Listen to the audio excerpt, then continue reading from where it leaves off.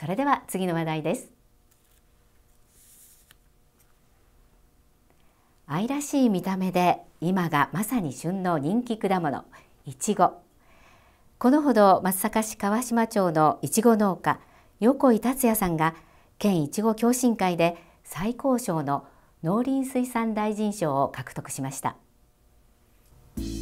横井さんは櫛田川近くの川島町で15年前からいちごの生育を家族3人で営んでいます。7つのビニールハウス。広さはおよそ 19R でいちごの品種秋姫や紅ほっぺ香りのを生産しています。生産量はおよそ5トンです。去年12月に JA 松阪本店で開催された第33回県いちご共進会では出品された109点の中から最高賞にあたる農林水産大臣賞を初受賞しました。はい。あの秋姫は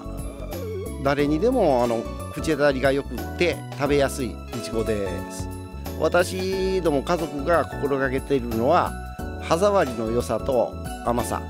これともちろん安心安全ないちごを消費者に届けようと。いうふうな思いで作っております。あのー、ここのいちごまずあの達也息子が達也があ始めましてそれでその後私どもが参加したわけなんですけどまあ作り始めてからしばらくしてこういった賞があるのが分かりましてなんとかぜひ取りたいなっていうふうなことを目標に頑張ってきました。まあ家族3人でなるべくいちごの苗それから実を見ていようというふうなことでやっております。それで誰かが1日8時間以上はここに誰かがおるというような状況を今は作っております。